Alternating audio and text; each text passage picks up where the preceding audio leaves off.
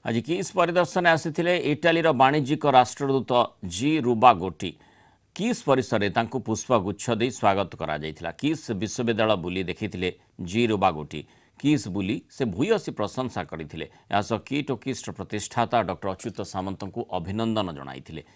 ଏହି ଅବସରରେ କିସ୍ ପକ୍ଷରୁ ଜି ରୁବା ଗୋଟିଙ୍କୁ ସମ୍ବର୍ଦ୍ଧିତ କରାଯାଇଥିଲା।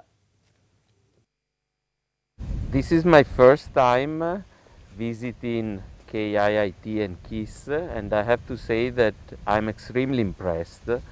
You read a lot, uh, you hear a lot uh, about the achievements of this uh, mega integrated system of education for 60,000 kids, but uh, I think unless and until you come and see with your eyes, you really miss to catch uh, all that it is about. So uh, congratulations to Dr. Samant and to all of his team because uh, this is really a great, great uh, job that they have done and I'm sure they will continue and uh, get even better and better by the day.